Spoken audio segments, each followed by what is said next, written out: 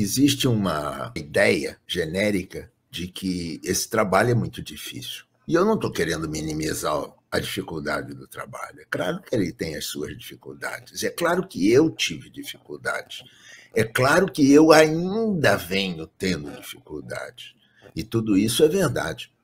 Mas também é verdade que a liberação que eu sinto hoje é muito, muito, muito, muito diferente da liberação que eu sentia há 20, 30 anos atrás. Ah, mas demora tanto tempo? Não. Já contei algumas coisas das limitações que eu tive dentro da minha família, dentro das minhas percepções de mundo e das minhas diferenças entre um lado e o outro, ou seja, o lado que eu sabia que estava certo, né, que eu sabia que era o suprassumo do conhecimento humano, é e o outro lado que estavam com as dificuldades da minha vida. Então, tudo isso é verdade.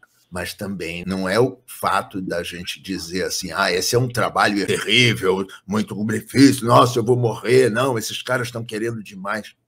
Percebam as bagunças que o ego de vocês faz com vocês em relação a isso.